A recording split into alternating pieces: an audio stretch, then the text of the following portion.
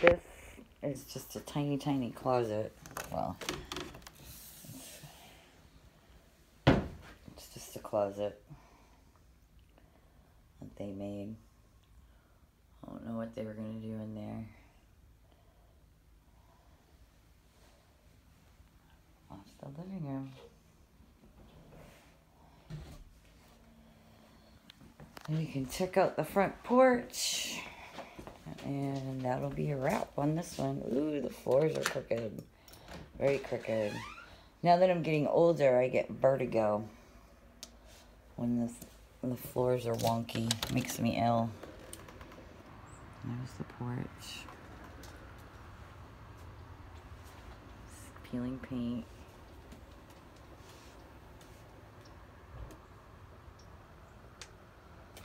But for the most part, it's okay.